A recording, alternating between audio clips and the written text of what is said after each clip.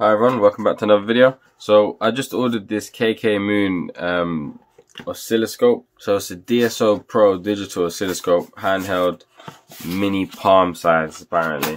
I mean, there's a bunch of these around the internet, loads of them.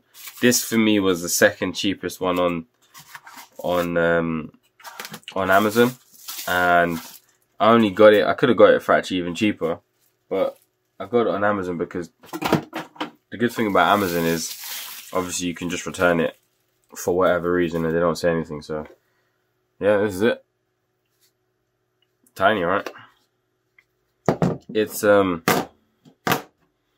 it doesn't weigh anything. I should get some scales. It's got a micro USB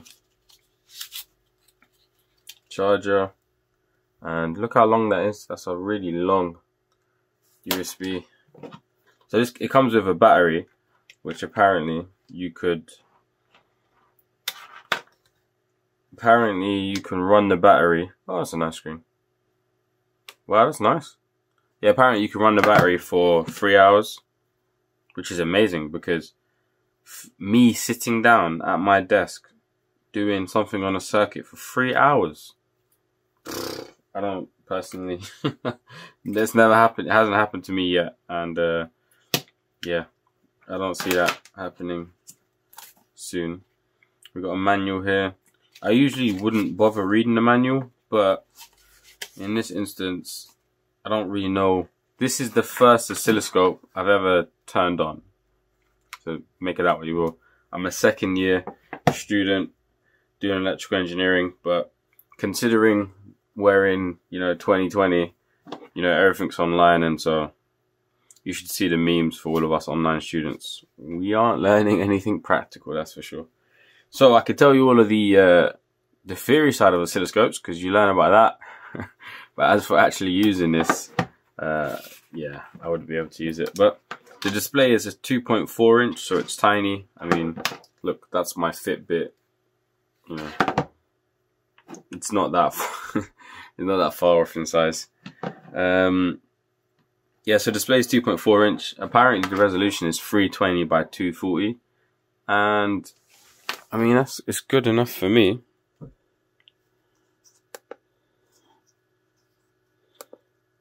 That's alright. Look at that. That's actually a really nice display. People said apparently like at certain angles you couldn't read it, but Okay, I see what you mean. Like from there, I can't I can't read that, but that's fine. I can read that. Can read that. Can read that. Can read that. I mean, how many angles do you need to be able to read to read from? Yeah. I mean, this is good enough for me. So uh, these uh this oscilloscope, it's just it's obviously just made in China. Look, so the the the Amazon listing says KKmoon but I can't see any KKmoon branding on it at all.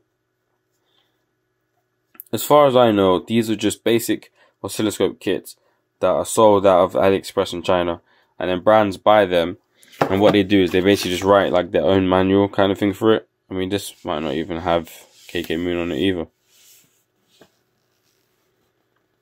yeah. So they didn't even make write their own manual.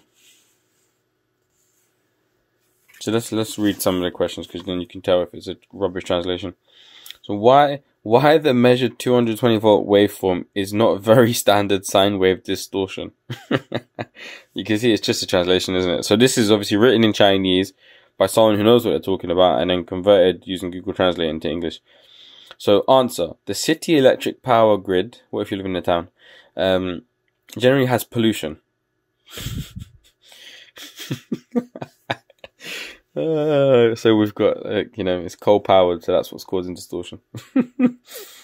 uh, I assume they mean noise. Uh, contains more high order harmonic components. These harmonic superposition on the sine wave will show the distorted sine wave, normal phenomenon. the general city waveform is distorted, and the oscilloscope itself is not related.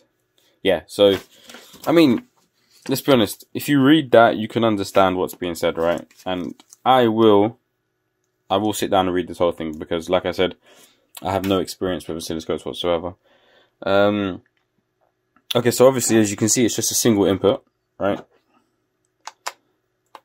So they're on, you know, it's not dual channel or anything. I will be getting a better one than this, and I do have an old analog one, but for now, I just want to just measure one output for one project that I've got going on. So I wanted to just go with something basic. So someone in the review said that in Amazon reviews that apparently can measure a waveform of around five megs, no problem. So if that's the case, that's more than good enough for me. This it comes with a five megahertz bandwidth. Now, in case you don't know what that means, the range of the oscilloscope or the range of frequencies that your oscilloscope can measure accurately is the bandwidth. So if you think about, I don't know, zero hertz all the way up to 2000 hertz, that would be your bandwidth. So this has got a 5 megahertz bandwidth. To put that into perspective, a low quality oscilloscope would have like 100 megahertz and a decent quality oscilloscope would have like 500 megahertz. So this is at 5 megahertz. So you're talking about it's 100 times worse than a good oscilloscope in terms of its uh, in terms of its uh, bandwidth, which is funny. And then the second thing that you're going to care about is the sampling rate. So a basic oscilloscope would have a 1 gigahertz sample rate. This thing has got 20 megahertz. So yeah, it's a, I mean, for example, like a good, a, a good oscilloscope would have 5 or 10 gigahertz and a really good one, you know, would be more than that. So you're again talking about, you know, 50 times worse, basically. But the reality is, look, if you're watching this video and um, for myself personally, I've got, I just don't, I don't need a powerful one. And, um, like I said, I have no experience using oscilloscopes because university is closed. You can't go on campus. And if you do, there's all these rules and whatnot. It's just crazy. So I don't, I just want to use an oscilloscope and just get comfortable using one. So for me, it doesn't didn't really make sense to go and spend two hundred pound on a big giant oscilloscope lab bench one that's ultimately just going to be used to just make my YouTube videos look better. If you think about it, that's what most people are going to use their scopes for. Uh, so my philosophy, whenever I'm buying gear, whatever it is, so it's the same when I bought, for example, this uh, power supply that I've got here.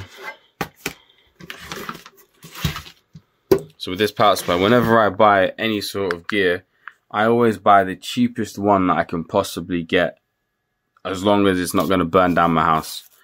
And so I'll buy the cheapest one that I can get and I'll use that and use it and use it up until the quality of the product, meaning the, the like the cheapness of it, how rubbish it is, up until it starts to bug me.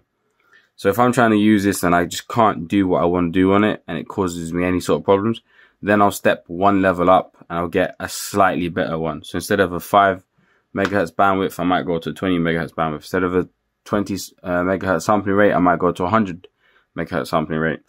And so I'll go one level up each time until the quality no longer bugs me.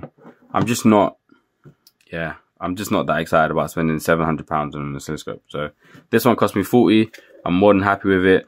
The one that I'm probably going to get next is a 200 pound oscilloscope. So this one's a fifth of the price. It makes sense for me to go with this over the um, the 200 pound one. I'm just wondering if the screen can easily be damaged. I'm just pressing it. I'm pressing it quite hard and it's not moving, so that's alright. You open it? No. The battery, no. That's nice. The battery came full. Alright, so let's try and see if I can test out some sort of signal. Alright, so I've got a super simple circuit here. Basically, the premise of it is I've got this um, USB power board where basically it supplies 5 volts to these rails. So it supplies 5 volts plus and minus, right? So I've got it go into a, a push button where I'm going to press the button and then it'll turn the LED on and then obviously send to ground. So what I'm going to do is I'm going to take my oscilloscope. Going to connect this uh, negative end to ground. And then I'm going to take the positive end and stick it between the LED and the resistor. There, like so. Okay, let's turn on the oscilloscope. It boots very quickly. Look at that. It's probably a second to boot, which is crazy. So turn on my signal now.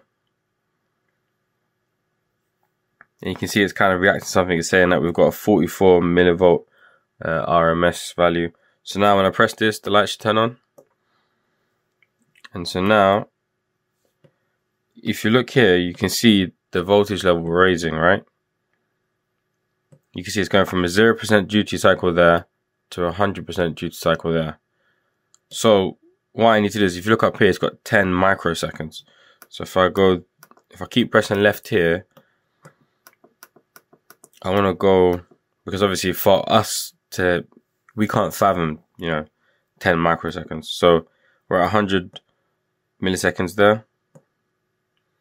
So if we go now to two seconds, and then now, when I press the LED and turn it on, turn it off, on, on, off, you can see now much more clearer the wave. So now, obviously it's tiny. Let's zoom in. So you got 10x, and there you go. So I don't have a function generator yet. I've ordered one, but you can see here, super easy. You can make your own square wave, just like that. Okay, yeah. So, I mean, this is the, my first time using a physical oscilloscope. I understand how they work in theory, mostly because I've been using multisim. But yeah, I mean, for me, this is a nice oscilloscope. This does the job for me. I'm gonna, I haven't built what I want to build yet, which is the reason why I bought this, but I will build it and then I'll be able to see if it's really worthwhile or not. But for now, I mean, I'm happy to keep it. Don't have any issues with it. Let's go run, stop. Okay, run again, auto. Okay, so now can I move this up and down? That's what I want to know. Ah, okay, nice. So I can change the level. So we're at 240 volts here. So when I'm pressing it, it's getting a tiny spike. But then if I go, so 28 volts, you get a giant one. 66 volts is going to be a smaller one. Got it, got it, got it. I'm getting the hang of it. Okay, so now how do I want to change this thing again? Mode. And then now I can move down and up. Nice, okay, okay, got it. So I can bring the wave down here and just do the same up here. I mean, I see why you would do this if you had multiple waves, but I don't know why you would do this if you only had one wave. And obviously it's only one input, so I don't know, it beats me. Uh, yeah, I'm happy with this. This is good enough for me. So hopefully, once I get better probes, then I'll be able to, to show a, uh, AC mains as well. But for now, the max voltage that this can take is 40 volts. So it wouldn't be, wouldn't make sense for me to, um, wouldn't make sense for me to try and stick AC mains through these wires. They'd probably melt in my tiny square wave and then I can stop it. And then now can I analyze. How would I zoom in to analyze? So mode can I zoom in?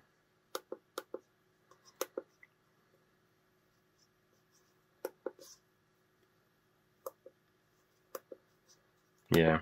So I've got a lot to learn here in terms of let's check night mode.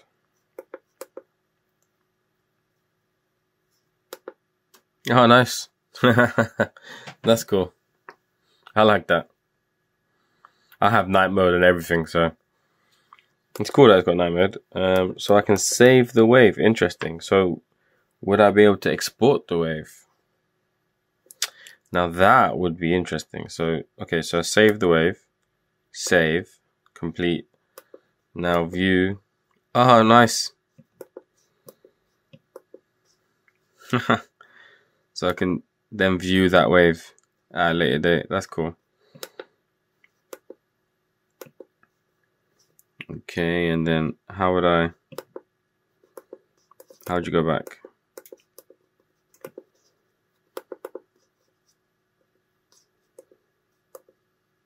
Delete. Okay. it would be really nice to know if I can export, if I can save a wave and export it. I'm gonna actually try to do that. But yeah, so I'm happy with this. Very, very happy with it. Let me know what you think. It's uh, 39, I think £37.50 I paid. It was like 5% off. So £37.50 for this. I mean, to me, it's uh, it's £37 is actually still a lot of money for me to, to pay for an oscilloscope.